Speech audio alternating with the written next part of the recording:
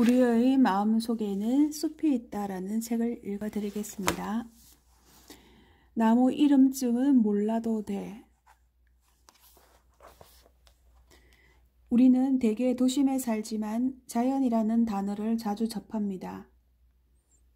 특히 요즘에는 자연에 대한 관심이 많아져서 친자연, 유기농, 천년 등 다양한 표현을 사용하기도 하죠. 또 주말처럼 여유가 생기면 자연으로 떠나서 휴식을 즐기자는 말을 하기도 합니다.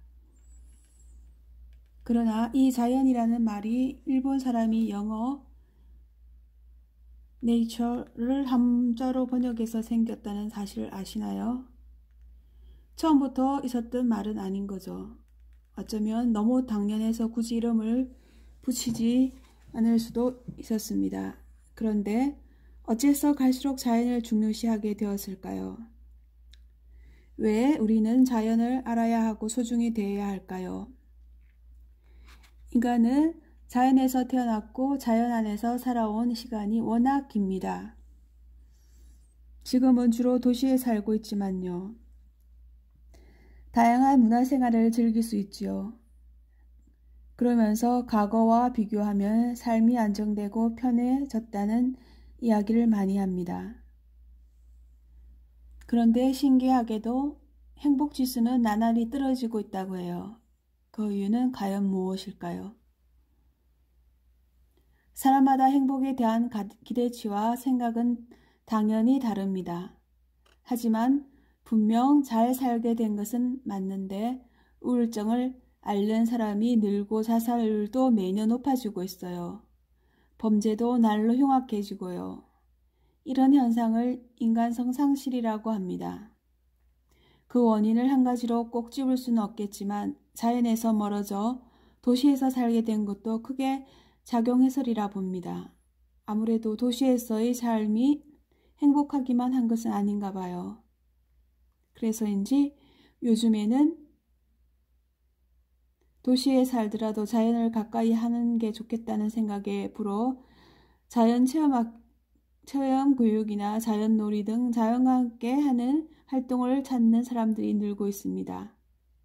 그런데 막상 자연을 체험하려고 하니 걱정되는 게 있어요. 말벌이나 뱀 같은 위험한 동물이나 모기처럼 우리를 귀찮게 하는 동물, 애벌레나 지렁이 같은 징그러운 동물들이 나올까봐 무섭다나요. 또 풀, 꽃, 나무 이름을 모른다는 겁니다. 나무를 몇 번 봐도 이름이 도통 생각이 안 나고 헷갈리는 거예요. 세상 영어 단어를 열심히 외웠는데 다시 물으면 생각나지 않는 것처럼 나무 이름 외우는 게 공부처럼 어려우니 숲에 가는 게 재미가 없는 거죠. 숲 해설가 중에서도 나무 이름이나 곤충 이름을 잘 외워야 나중에 해설을 잘 할 텐데 그 종류가 워낙 많으니 다 외우기가 힘들고 공부하기가 어려워서 도중 포기하는 분들이 계십니다. 감나무, 언행나무, 벚나무, 느티나무 정도는 알겠는데 졸참나무, 신갈나무, 개온나무, 물풀의 나무, 단단풍나무 이런 나무들은 언뜻 보아서 맞는지 아닌지 알기가 어렵거든요. 그런데 숲에 가면 이런 나무들의 이름을 알아야 할까요? 우리가 알고 있는 나무의 이름이 나무의 진짜 이름인지 아닌지부터 생각해 봅시다. 여러분은 모두 이름을 갖고 있지요. 제 이름은 황경택입니다. 류연수, 구소연 등등 인간은 저마다 이름을 가지고 있어요.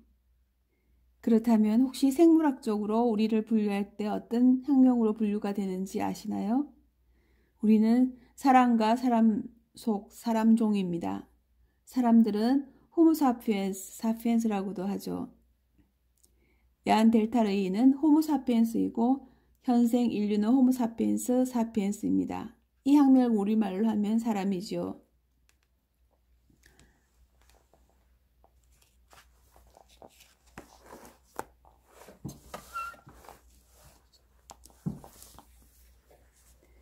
즉, 옆에 있는 친구도 사람도 나도 그 옆에 있는 사람도 그의 친구도 모든 사람들이 사람입니다.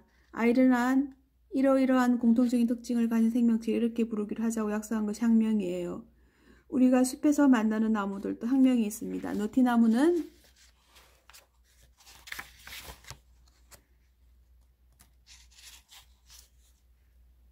젤코바, 세라타, 마키노라고 하는 우리말로는 느티나무라고 하죠. 즉, 우리가 부르는 나무 이름들은 모두 학명입니다. 마치 우리를 보고 사람이라고 부르는 것과 마찬가지죠. 우리에게 저마다 이름이 있듯이 나무에도 어쩌면 저마다의 이름이 있을지는 모릅니다.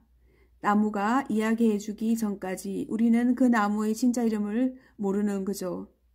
너티나무는 학명이고 내 앞에 있는 이 느티나무의 진짜 이름은 알 수가 없습니다. 어차피 우리가 알고 있는 게 나무의 진짜 이름도 아닌데 굳이 그 이름을 알려고 하거나 외울 필요는 없을까요? 있을까요? 식물학자가 되려는 사람은 공부해야 하니 학명을 외워야 하지만 보통 사람들은 굳이 그 학명을 알 필요는 없어요. 어떻게 숲에 가서 나무 이름을 외우는 거 말고 무엇을 해야 하냐고요? 그냥 나무랑 친구가 되세요. 나무와 친구가 되는 방법은 많아요. 제일 쉬운 방법은 내 친구 나무를 하나 정하는 겁니다. 어떻게 친구 소만을 만들까요? 친구 나무를 만들까요? 아주 간단해. 숲에 갑니다. 나무가 많으니까요. 학교나 공원도 좋습니다. 나무 중에 이상하게 자꾸 눈에 띈 나무가 있을 거예요. 눈에 밟힌다고 하죠. 그런 나무에게 가서 나무를 꼭 껴안고 눈을 감으세요. 그리고 나무에게 안녕 내 이름은 000이야. 내 이름은 뭐니? 하고 이야기한 다음 가만히 귀를 대고 있어 보세요. 나무가 자기 이름을 알려줄 것입니다. 만약 나무가 아무 말도 안 하면 아직 내가 나무 말을 못 듣는구나 하고 그냥 나무에게 어울릴 만한 이름을 하나 지어주세요. 이름을 지어주고 나면 그 나무가 달라 보여요. 너 눈에 띄고 마음이 가죠. 더 눈에 띄고 마음에 가죠. 그래서 더 자세히 보게 되죠. 그렇게 매일매일 친구 나무를 살펴보다 보면 1년 동안 나무의 모습이 어떻게 달라지는지 알 수 있어요. 나무만이 아니라 돌멩이, 풀, 거미, 매미와도 이렇게 친해지면 됩니다. 자연은 이름을 외우고 공부하는 것보다 이렇게 가까워지는 게 중요해요. 나무 이름 같은 건 몰라도 되니 우선 그냥 숲에 가보세요. 숲에 가면 나무 생각을 아무 생각을 하지 않아도 마음이 편해지고 왠지 건강해지는 기분이 듭니다. 살아 가다 보면 가끔 원래 이러려고 한 게 아닌데 왜 자꾸 엉뚱하고 엉뚱한 것에 열중하고 목숨을 걸지 하는 생각이 들 때가 있습니다. 저에겐 대학이 그래요. 대학을 가는 이유는 좀 더 넓은 학문의 세계로 들어가서 깊이 공부하기 위해서잖아요. 돈을 벌고 싶으면 대학을 가지 않고 장사를 하거나 사업을 하면 되었죠. 그러나 이제는 돈을 많이 벌기 위해 대학을 갑니다. 대학을 가지 않으면 이상한 눈길을 봅니다. 그런 눈치가 싫어서 대학을 가기도 하죠. 원래 목적과는 다른 방법으로 흘러가는 일이 세상에는 아주 많습니다. 그럴 땐 다시 한번 마음을 가다듬고 원래의 목적이 무엇이었는지, 자신이 왜 어떤 것을 선택하고 어떤 길을 가려고 했는지 찬찬히 생각해 보면 좋아요. 숲에 오면 그런 생각을 가다듬기에 제격입니다. 저도 마음이 심란하고 이를 가닥이 잘 잡히지 않을 때 집 뒤에 있는 산에 가곤 합니다. 제가 사는 곳이 서울 남산 아래라서 가기가 수월하거든요. 그래서 종종 남산에 가는데 신기하게도 다녀오면 마음이 정리되고 편해집니다. 오랜만에 땀도 좀 흘리며 기분도 상쾌해지고요. 조금 괜찮을 수도 있고 애벌레들도 아 조금 귀찮을 수도 있고 애벌레들도 징그럽지만 용기 내서 한번 나가보세요. 분명히 기분이 좋아질 거예요. 이제껏 그 느끼지 못한 감정을 느끼게 될 것입니다. 고민거리도 한 발짝 떨어져서 보면 더 객관적으로 대처할 수 있고 답이 잘 나타나기 때문에 답이 잘 나타나기도 하거든요. 이상이었습니다.